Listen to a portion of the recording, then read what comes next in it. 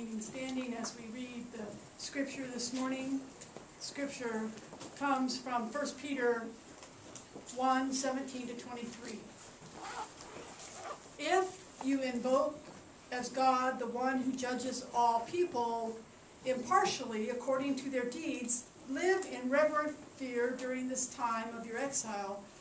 You know that you were ransomed from the futile ways inherited from your ancestors, not with perishable things like silver or gold, but with precious blood of Christ, like that of the Lamb without defect or blemish.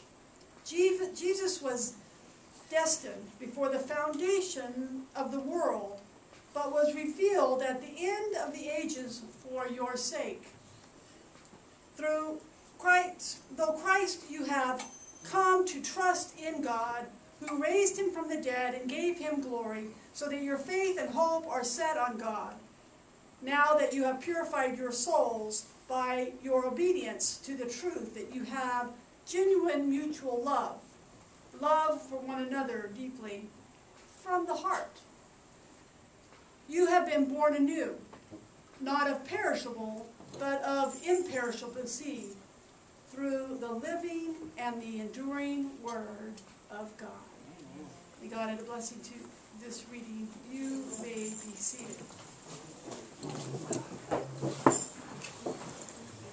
In this scripture, Peter is writing to the Jewish Christians who were driven out of Jerusalem and scattered throughout Asia Minor, and to all the people who believed in other places as well.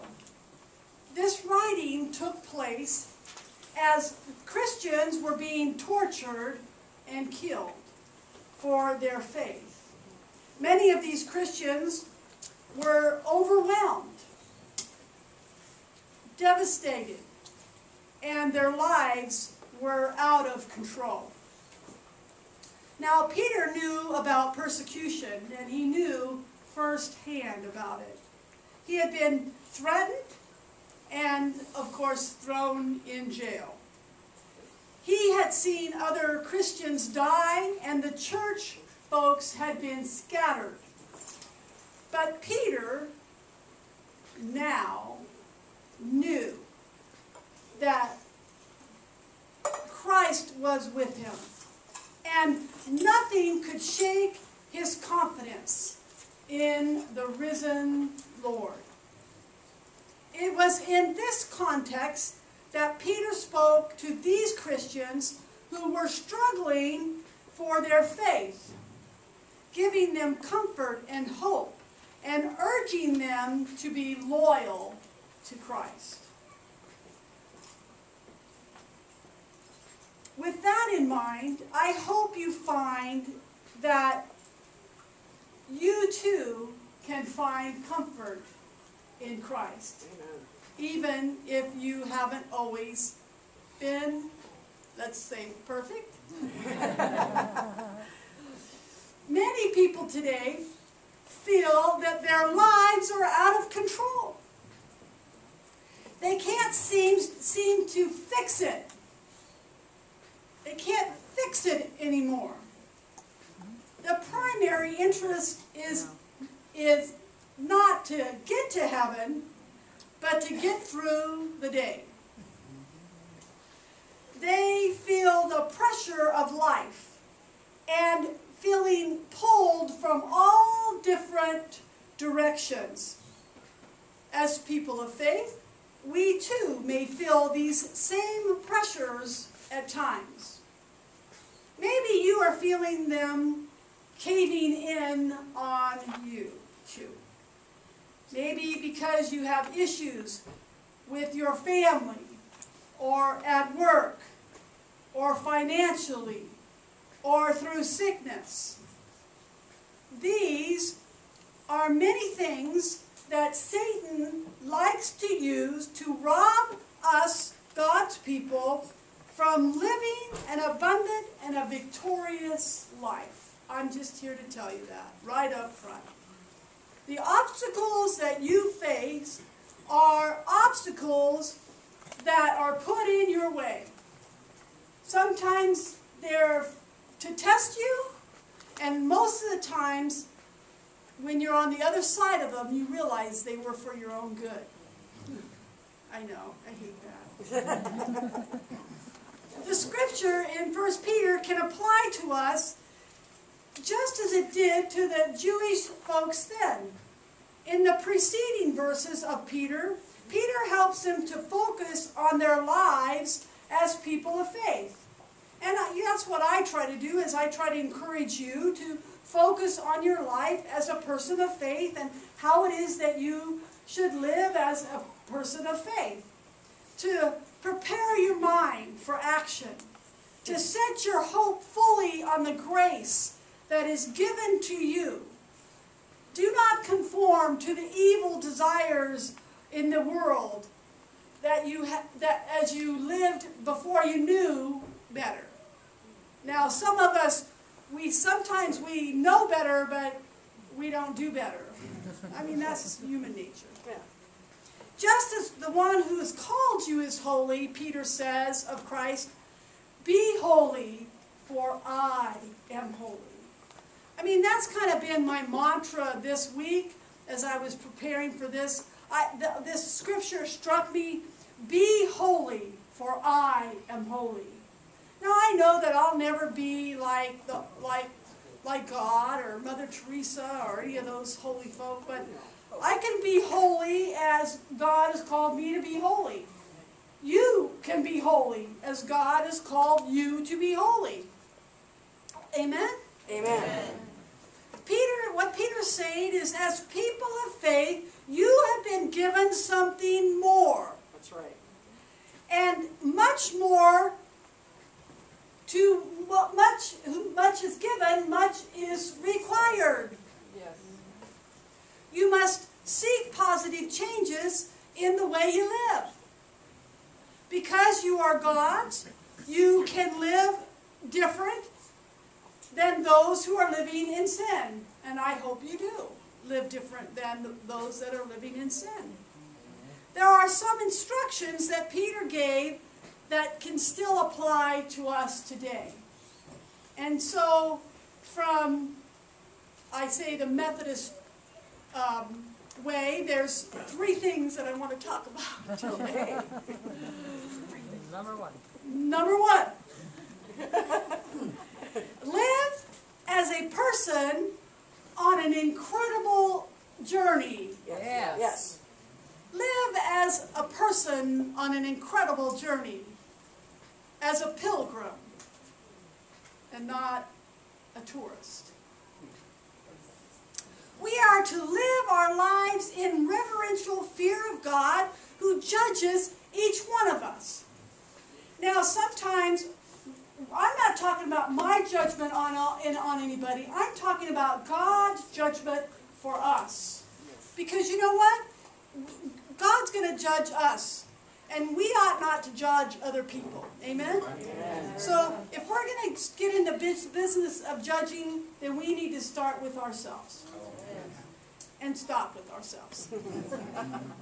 Because that's a big picture. our lives here are is a truly an opportunity to live out this incredible journey. We can go through our life as a sightseer, a tourist, an explorer, a landowner, a pilgrim, and a sojourner. A sojourner is a temporary resident. A biography of Mother Teresa says this, that she never traveled to other countries as a tourist, but as an emissary for the poor. She always traveled as a pilgrim. The difference between a tourist and a pilgrim is that the tourist looks around, samples things, makes no impact. A pilgrim or a person living out on a journey has a purpose for being there.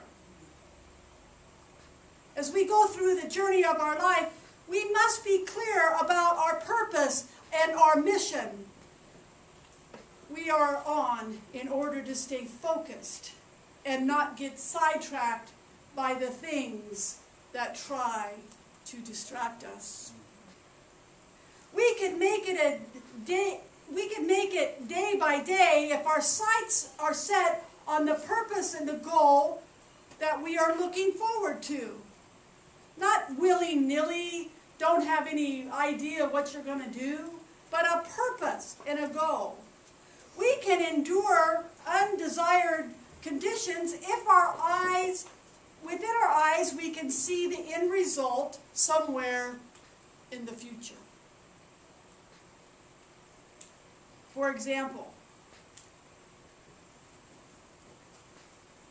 we all like paydays. Oh, yeah. So that's something in the future. Or maybe it's graduation day for some of you in high school and college. Maybe you're wanting to get that next promotion at work. So you have a desired condition for something in the future. Do you sit back and you you wait for that to happen? No. No. You got to work for it. You put your hand to the plow and you don't look back. You do what you have to do. You do it day by day. Let me share with you a powerful scripture. If you're taking notes, Isaiah chapter 50, verse 7 says this For the sovereign God will help me. Right off the bat. Hey, that's good news. That is. Therefore, I shall not be confounded. Now, I'm not going to get confused. Therefore, I have set my face like flint. You know what it means to set your face like flint? Flint is fire. Mm-hmm. I'm going to be on fire. That's it. I'm going to turn toward it. I'm going to look to it, and I'm going to be on fire. This girl is on fire!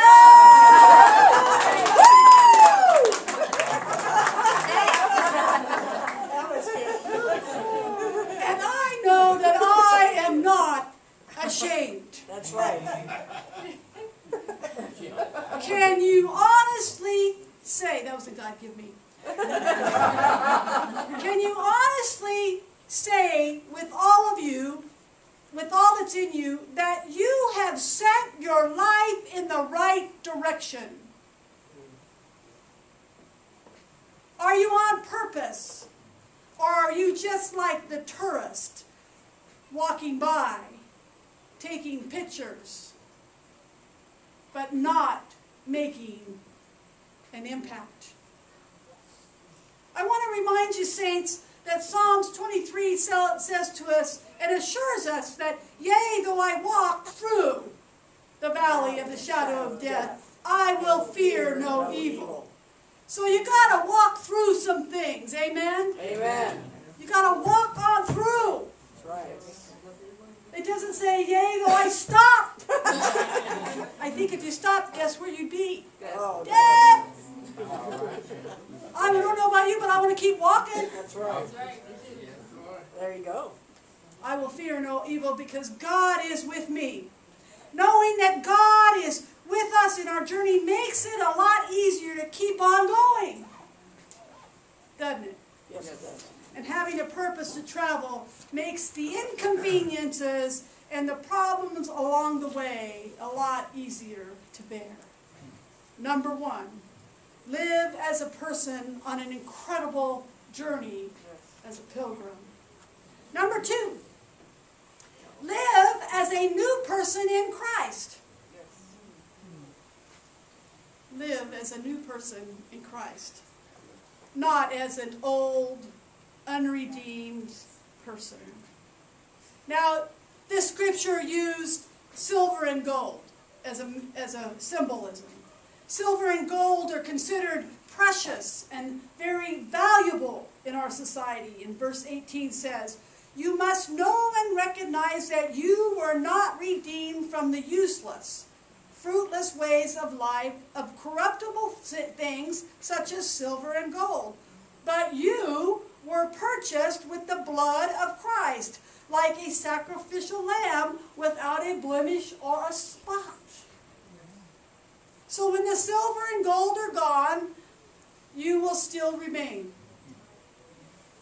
Let me just say, when these words, like redeemed, because sometimes it makes me go, Ugh. when words like redeemed are used, because it's kind of like one of those right wing words that people use to bash others with. Sometimes people turn a deaf ear. I don't want you to turn a deaf ear. It's, it's, it's old school language. And I want to just remind us this morning that at this time, when this word redeemed was used, it meant that someone paid money to buy his or her freedom. That's what it meant. But God freed us and our sin with the precious blood of Jesus. It's not something that we can buy our way out of.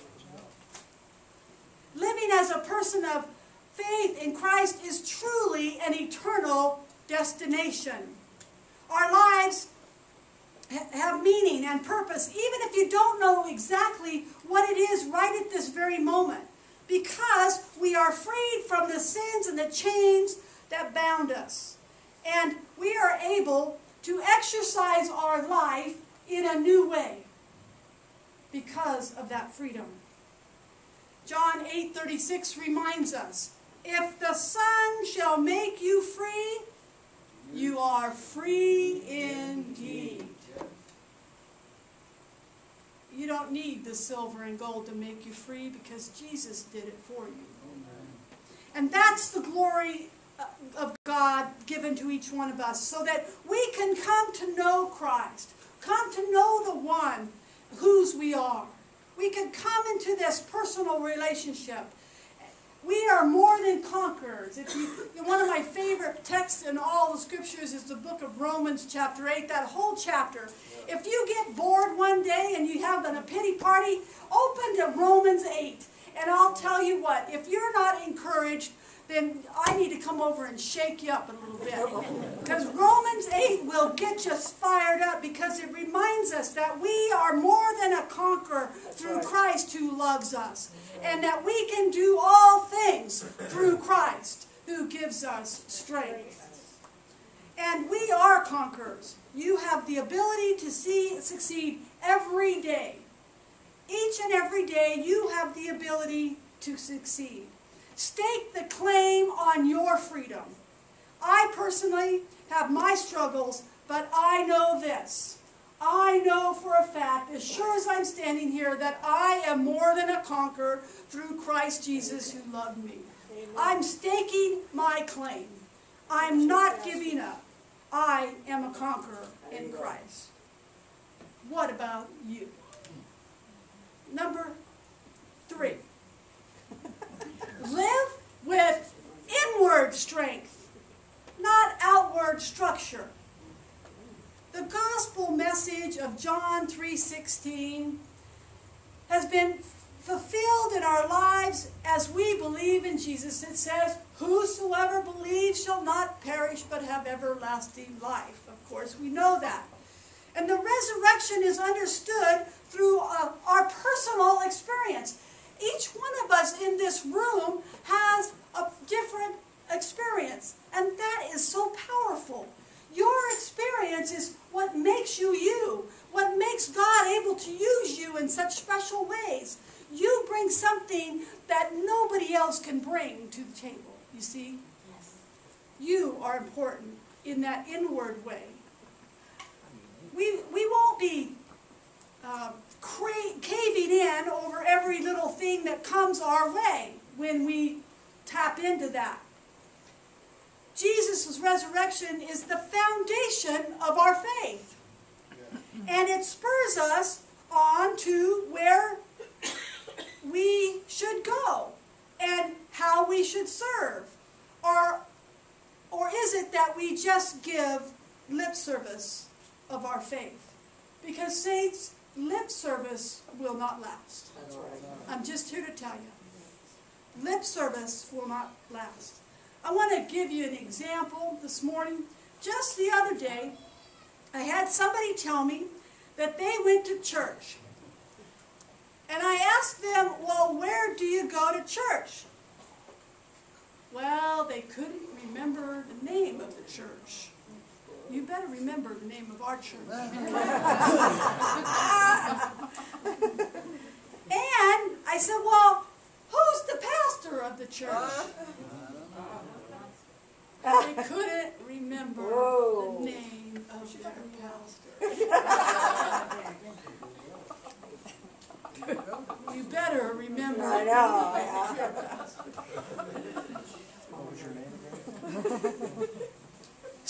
folks say they belong to Valley Ministry but hardly ever come to church. These same folks complain because we don't offer enough.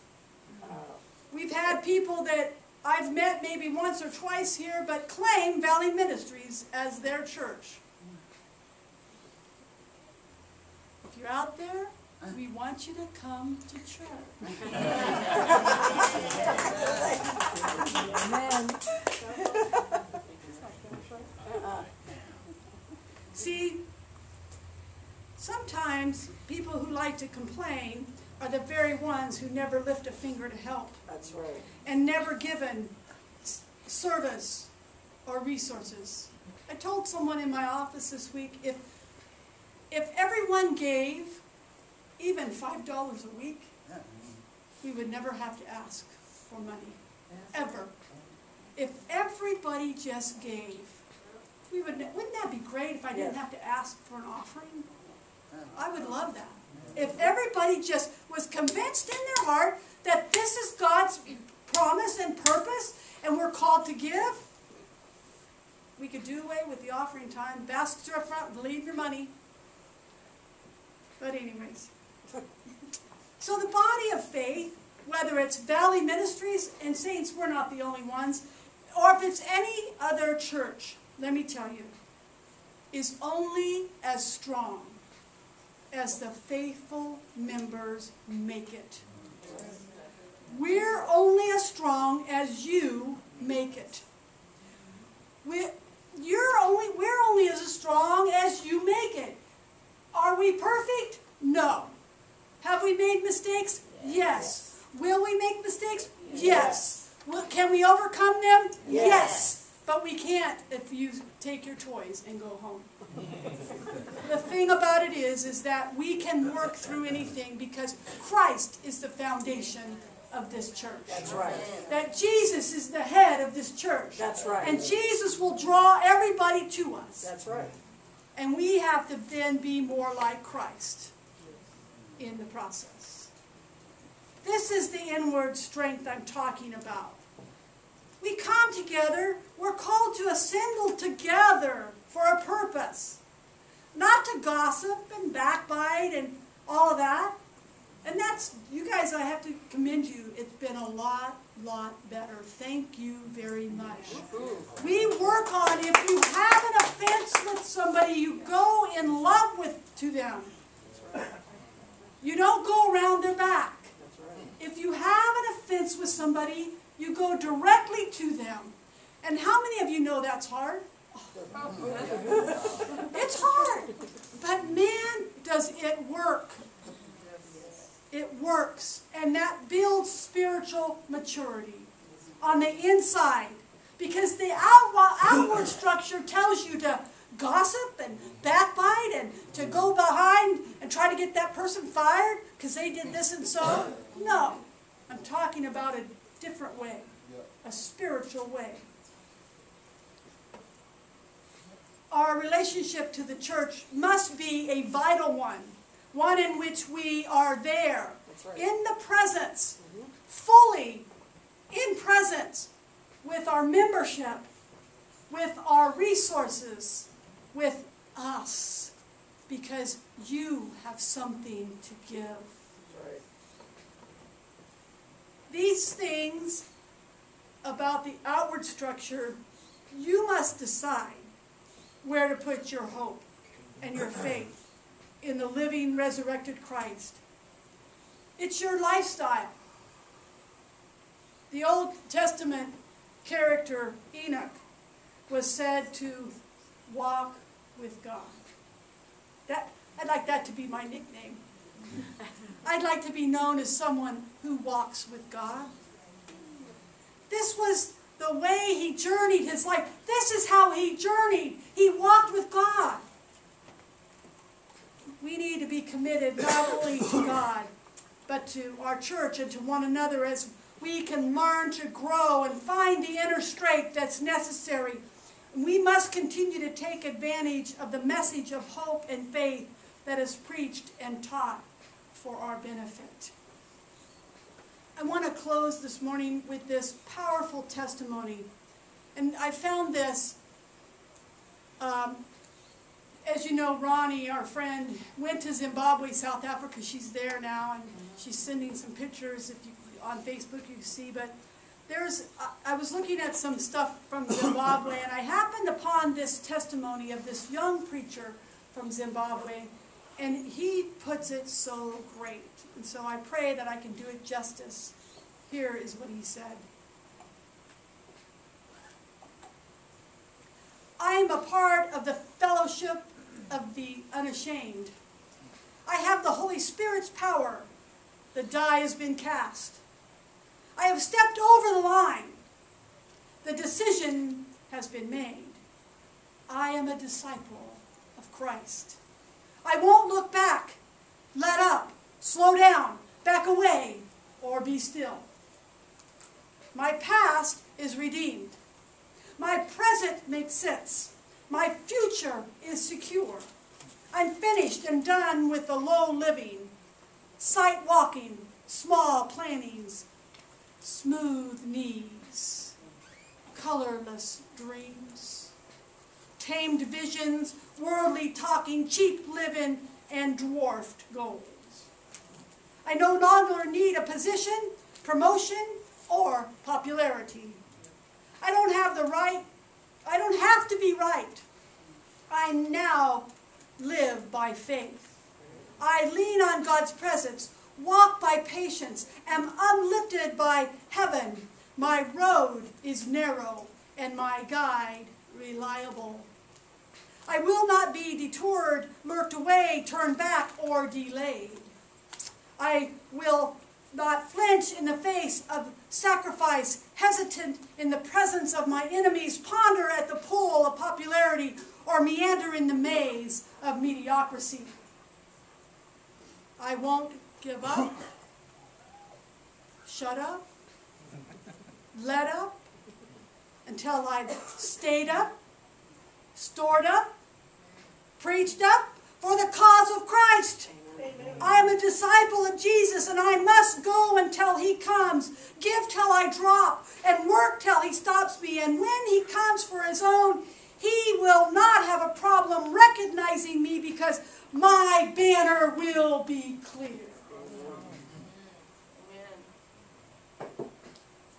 Is your banner clear this morning? Are you living as a pilgrim and not as a tourist? Are you living as a new person of Christ? Are you living the inward strength and not of the outward structure? Is your banner held high? I don't know about you, but my banner is held high. Amen. and amen. Praise the Lord. All right.